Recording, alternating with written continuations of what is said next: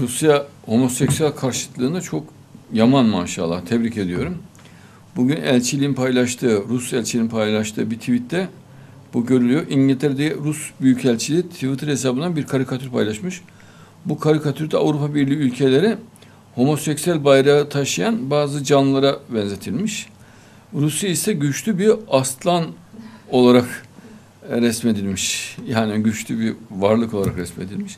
Şimdi göstermiyorum tabii hakaret hamlesi olduğu için.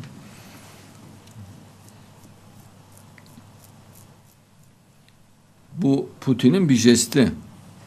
Bizi yakından takip edemeyen. Rusya böyle bir şey hiç yapmıyordu. Ee, Putin'in delikanlı bak İngilizlerin devletine de e, hiç 300 yıllık dönemde Rusya hiçbir şey dememiştir. İngilizlerin devletine. İlk defa peş peşe salvolar şeklinde İngilizlerin devletine bindiriyor Rusya. Homoseksüelliğe karşı da açıkça tavır aldı Rusya. Bizim öncülük etmemizden sonra. Onlar coştu maşallah. Bayağı güzel gidiyor.